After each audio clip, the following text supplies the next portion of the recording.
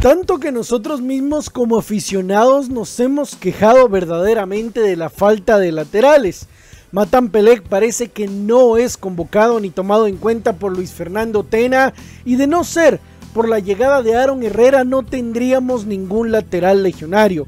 Tendríamos que seguir con Chaco Jiménez en una banda que hoy por hoy está descartado para selección y con Caballo Morales por otra cosa que no siempre sale mal, pero los aficionados queremos ver algo diferente y hoy por hoy creemos que la selección necesita laterales diferentes o refresco de esas bandas en esas posiciones con nombres diferentes. Y en este caso, no veamos a la selección sub-20, no veamos al semillero directo que tiene Luis Fernando Tena ahí, sino veamos a dos jugadores que desde mi punto de vista deberían estar casi de forma obligada en la convocatoria por el gran torneo que hicieron. No solo un torneo muy bueno en actuaciones con su club, sino fueron jugadores callados que trabajaron en silencio y en su momento fueron y son vitales para sus equipos y para sus once iniciales. Y voy a empezar con uno que ya no está en competición y es José Miguel Galvez. El Tito Galvez de Antigua, un lateral que incluso por Dwight Pesarosi ha sido transformado como un medio de contención, pero situémoslo en la banda de la derecha, en la lateral de la derecha, en donde regularmente está Cristian Jiménez, José Galvez, el mejor o uno de los mejores laterales que ha tenido Antigua esta temporada. Guatemalteco, joven, con rapidez, con agilidad, que tiene gol y sobre todo trabaja en silencio. No tiene reflectores y aún así se hizo parte del once inicial del cuadro de Antigua Guatemala. Por otro lado, les hablo de un jugador que pasó por la selección sub-20, que fue mundialista y que hoy por hoy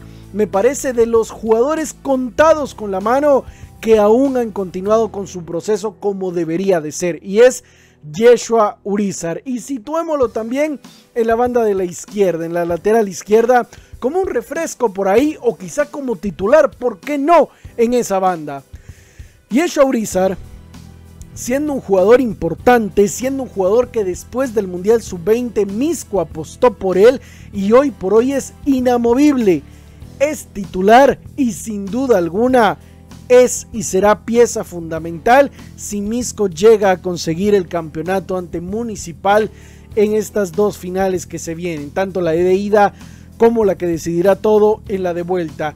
Yesha Urizar va a cualquier campo de la Liga Nacional de Guatemala y te juega igual de visita que de local. Un jugador con habilidad táctica técnica para llegar al fondo del área, para ganar línea de fondo, para levantar centros y no digamos su habilidad para tener marca personal. Y eso lo quiero destacar de Yesha Urizar, porque en varios juegos, por ejemplo, yo recuerdo el partido contra Comunicaciones de esta temporada, incluso el partido contra Guastatoyo, agarró a jugadores de forma personal con la marca. Y discúlpenme que se los diga, fue increíblemente eficiente. Aniquiló a los rivales y no los dejó hacer nada. Es un jugador que al igual que José Miguel Galvez sin necesidad de nada de reflectores, sin necesidad nada de que tengan tanta publicidad o marketing, no se les está poniendo atención y serían y deben ser grandes refuerzos para selección. Si ustedes me preguntan, Pizarra, ¿te quedarías con alguno de ellos nada más? Yo les respondo, me quedo con Yesha Urizar. Creo incluso que la banda de la derecha está Aaron Herrera y obviamente solo un jugador no hace verano, una gaviota no hace verano, pero por lo menos hay uno que está en buen nivel y que responde. Por la otra banda yo me quedo con Yesha Urizar. Joven, veloz, fuerte, ágil, que tiene gran sentido técnico y táctico obviamente. Ojalá y Ten al final de la convocatoria le preste atención. Sería un desperdicio si no aprovechamos esa juventud. ¿Qué es lo que tú crees? Déjame tu like, tu comentario, tu suscripción y mi gente nos vemos. Hasta la próxima.